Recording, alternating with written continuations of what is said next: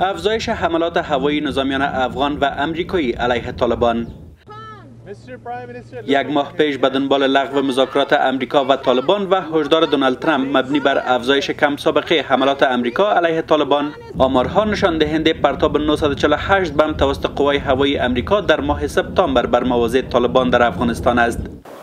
وزارت دفاع افغانستان می‌گوید که حملات هوایی و زمینی نظامیان افغان نیز علیه گروه طالبان افزایش یافتند بیشتر از 60 درصد ما عملیات های هوایی خود در مقایسه با یک سال پیش افزایش داده باشیم. به این ترتیب میزان عملیات های زمینی تهاجمی ما بیشتر از 50 درصد افزایش پیدا کرده. امروز نیروهای امنیتی افغانستان 100 درصد در حالت تهاجمی قرار دارند. دو سال پیش در حالت دفاعی قرار داشتند. دو سال پیش طالبان می آمدند بالای مواضع سنگرها پست های نیروهای امنیتی و دفاعی افغانستان حمله می‌کردند. به همین خاطر میزان تلفات نیروهای افغان بسیار بالا بود. امسال ما هستیم که بالای از او حمله می‌کنیم. دو سال پیش وا سایه جنگ برای ما تعیین می‌کردن. امروز سایه جنگ ما برشان تعیین می‌کنیم. در جنگ با گروه طالبان از هر ده حمله هوایی هفت حمله توسط قوای هوایی افغانستان و سه حمله توسط نظامیان خارجی صورت می‌گیرد. با این حال آگاهان نظامی تاکید می‌ورزند که در انجام چنین حملات باید از دقت بیشتر کار گرفته شود. ما اگر طرح درستری داشته باشیم امیدوار هستیم که به طرف صلح بره.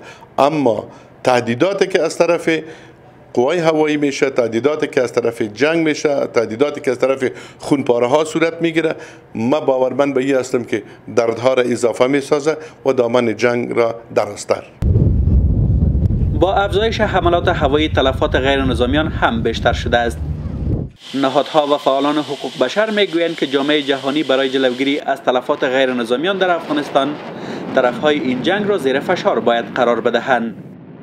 دفاتر دیگه که طالبا دارن اونا را وادار به ایست بسازن که کسایی که جنگ می‌کنن بر از اونا توصیه بکنن که از جای عامه دور شون و در آنجا عملیات نکنن و در ضمن می‌تونن که یک پالیسی درست یک پالیسی منظم از طرف حکومت ساخته شود که تلفات افراد ملکی کم شود. وزارت دفاع افغانستان اما می‌گوید که برای جلوگیری از تلفات غیر نظامیان افزون بر این که راهبرد خاصی دارد کمیته نظارت بر عملیات نظامی را نیز ایجاد کرده است. این وزارت می‌گوید در آن مناطقی که احتمال تلفات غیر نظامیان وجود دارد بر جنگجویان طالب حمله نمی کند سید حسیب مدودی تلویزیون آشنا صدای امریکا کابل.